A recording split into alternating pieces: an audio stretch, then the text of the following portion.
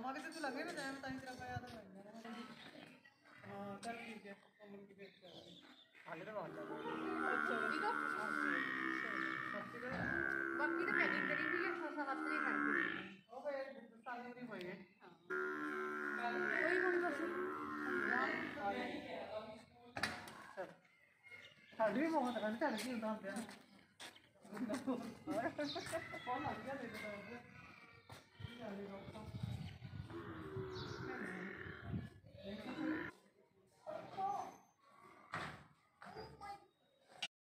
ਵਾਹਿਗੁਰੂ ਜੀ।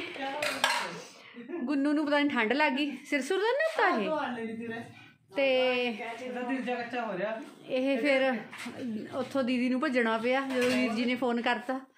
ਵੀ ਬੱਚਿਆਂ ਦਾ ਕੱਲ ਨੂੰ ਪੇਪਰ ਵੀ ਹੈ। ਸਬਜ਼ੀਆਂ ਸੁਬਜ਼ੀਆਂ ਲੈ ਆਏ ਤੇ ਵੀ ਚੀਰਾ ਚਾਰਾਂਗੇ ਚੱਲ ਤਿਆਰੀ ਪਨੀਰ ਪਨੂਰ ਵਗੈਰਾ ਸਾਰਾ ਕੁਝ ਹੋਰ? ਫਿਰ ਆਣਾ ਪੈ ਗਿਆ ਹੁਣ ਮੈਨੂੰ ਭੱਜ ਗਏ ਨਹੀਂ ਮੈਂ ਹੋਰ ਰਹਿੰਦੀ ਦੋ ਦਿਨ। ਜਾਣਾ ਮੇਰੇ ਨਾਲ? ਠੰਡ ਚ ਭੱਜੀ ਫਿਰਿੰਗਾ ਕਿੱਥੇ ਰਹੇਗਾ? ਤਾਂ ਬੋਲ ਨਹੀਂ ਰਿਹਾ ਖੁੱਲ ਕੇ ਦੋ ਦਿਨ ਜੇ ਹੋ ਰਹੇ। ਠੰਡ ਲੱਗ ਗਈ ਹੋਣੀ। ਉਹੀ ਭੱਜਿਆ ਸਾਈਕਲ ਤੇ ਗੇੜੇ ਕੱਢਦਾ ਵਿਹੜੇ 'ਚ ਫਿਰੀ ਜਾਣਾ ਨਾ। ਫਿਰ ਹੋ ਜਾਂਦਾ। ਡੋਂਗਰੇ ਦਾ ਬੱਚਾ। ਕਿਹਦੀਆਂ ਬਣਾ ਲਏ ਮੇਰੇ ਕੱਚਾ ਬਣਾ ਦੇ ਵਾਹਿਗੁਰੂ ਜੀ ਹੁਣ ਅਸੀਂ ਠੰਡ 'ਚੋਂ ਆਏ ਆ ਹੱਥ ਠੰਡ ਗਏ ਠਰੇ ਹੋ ਗਏ ਤੇ ਹੁਣ ਚਾਹ ਬਣਾਈਏ। ਚਾਹ ਪੀਏ। ਫਿਰ ਡੈਡੀ ਇਹ ਘਰੇ ਨੇ ਕਿ ਬਾਹਰ ਨੰਗੇ? ਅੱਛਾ।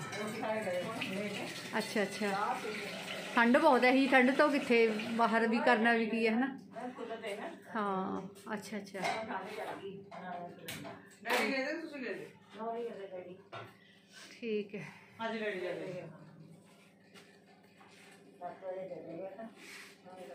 ਡੈਡੀ ਜਾਂਦਾ ਨਹੀਂ ਹੈਗਾ। ਅਰੇ ਨਾ ਹੋਵੇ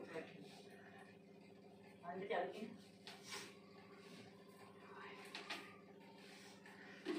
ਮੈਂ ਦਵਾਈ ਦਵਾਈ ਲਾ ਦੇ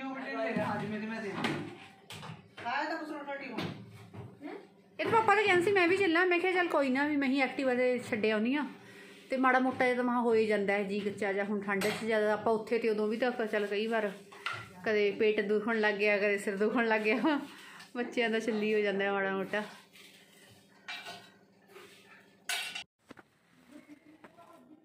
ਅੱਜ ਮੱਝਾਂ ਨੂੰ ਤਾਂ ਬਾਹਰ ਕੱਢਣਾ ਪਿਆ। ਫਿਰ ਅੰਦਰੋਂ ਸੁਕਾਇਆ ਪੱਖੇ ਲਾ ਕੇ, ਝਾੜੂ ਲਾ ਕੇ। ਹੁਣ ਇਹ ਚਲੋ ਸਾਰੀ ਰਾਤ ਆਰਾਮ ਕਰਨਗੇ ਆਪਣਾ, ਸੁੱਕੇ 'ਚ।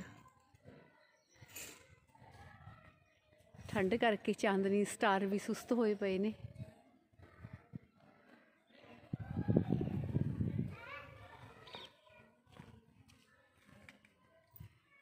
ਫਿਰ ਇੱਧਰ ਟੋਕਾ ਕਰਾਂਗੇ।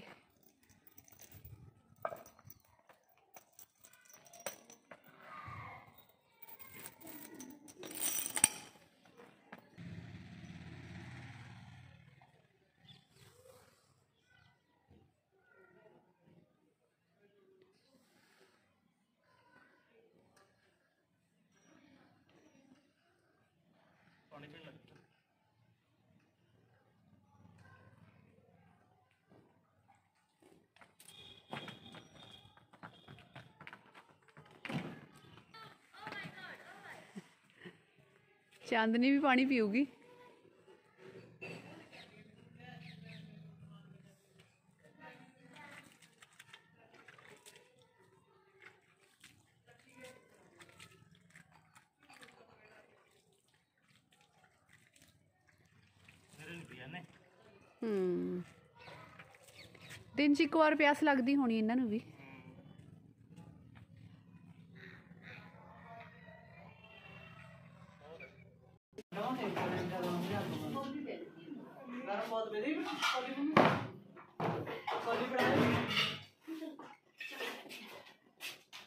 ਨਾ ਆਹਾ।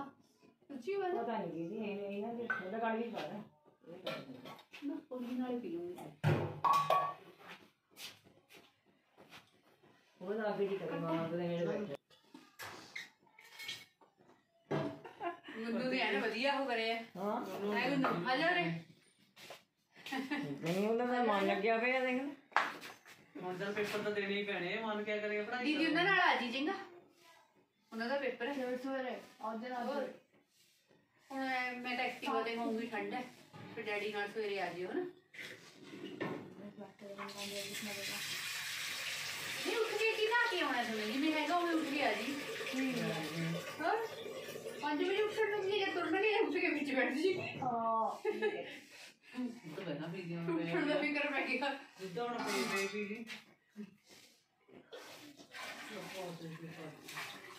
ਉੱਧਰ ਠੀਕ ਹੈ ਉੱਧਰ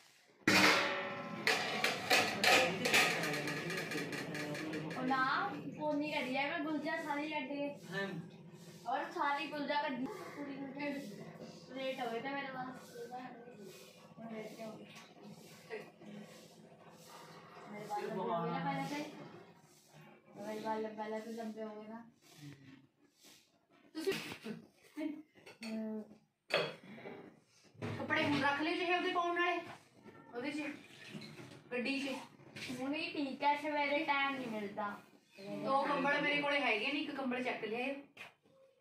ਜਿਹੜਾ ਤੂੰ ਲੈਂਦਾ ਜੀ ਨਾਲ ਜਾਈ ਚੱਕ ਲੈ ਗਿਆ ਨੰਬਰ ਜਾ ਹਾਂ ਰਿਆ ਕਰ ਗਿਆ ਰੰਗ ਫਿਰ ਸਰ ਜੂਗਾ ਫਿਰ ਸਰ ਜੂਗਾ ਹਾਂ ਪਤਾ ਹੈ ਕਿ ਨਹੀਂ ਜਾਂਦੇ ਆਪਦੀ ਵਾਲੇ।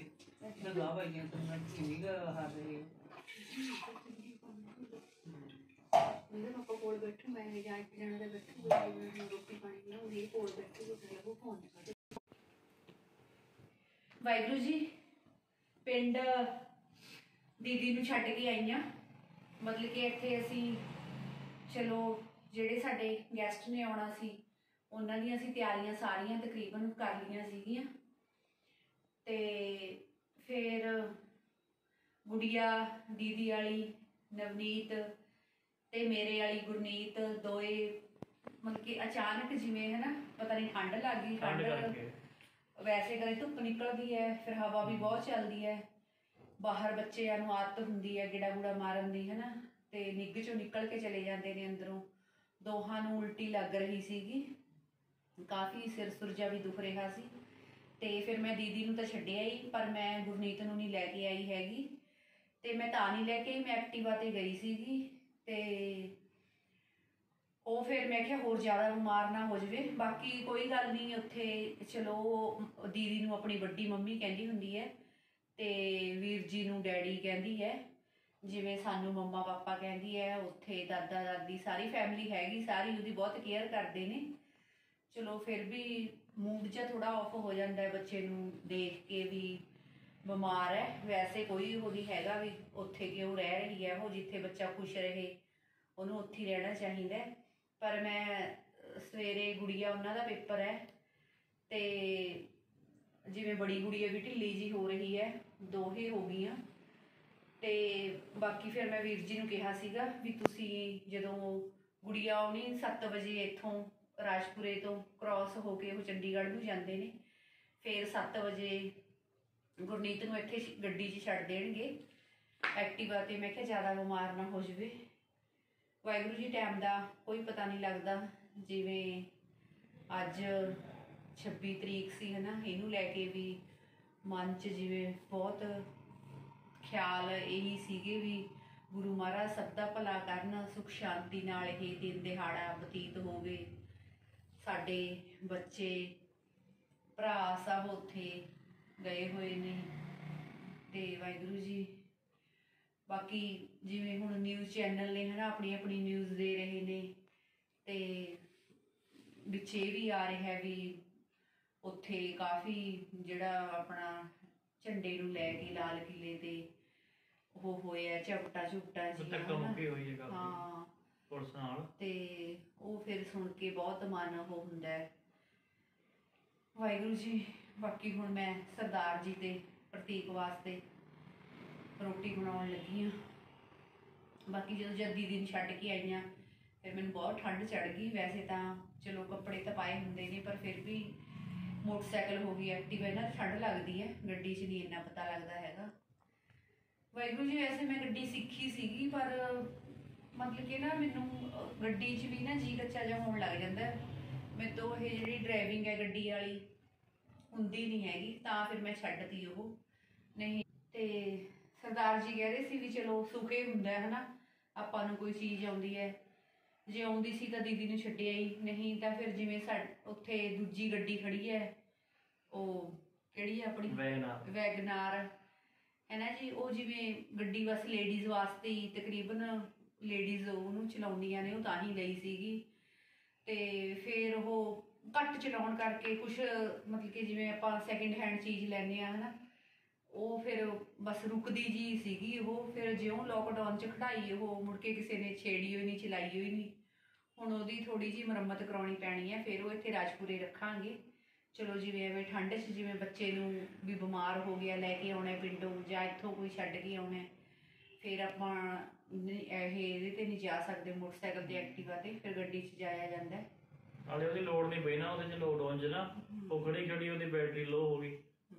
ਐਲਟੋ ਯੂਜ਼ ਕੀਤੀ ਆਪਾਂ ਜ਼ਿਆਦਾ ਤਾਂ ਉਹ ਵੀ ਯੂਜ਼ ਕੀਤੀ ਨਹੀਂ ਵੈਗਨਾਰ ਦਾ ਹੁਣ ਦੇਖੋ ਉਹਦੀ ਬੈਟਰੀ ਚਾਰਜ ਕਰਾਵਾਂਗੇ ਫਿਰ ਉਸ ਤੋਂ ਬਾਅਦ ਉਹਨੂੰ ਵਰਤੋਂ ਚ ਲਿਆਵਾਂਗੇ ਇੱਥੇ ਰਾਜਪੁਰ ਰੱਖਾਂਗੇ ਉਹਨੂੰ ਆਪਣੇ ਕੋਲ। ਇਹ ਵਾਰੀ ਬੱਚੇ ਨੂੰ ਜਾਣਾ ਹੋਵੇ ਕਿਤੇ ਨਹੀਂ ਲੈ ਪ੍ਰਤੀਕ ਮੈਂ ਬਣਾਵਾਂ ਰੋਟੀ। ਫੇਰ ਲੋਡ ਪੈਂਦੀ ਹੈ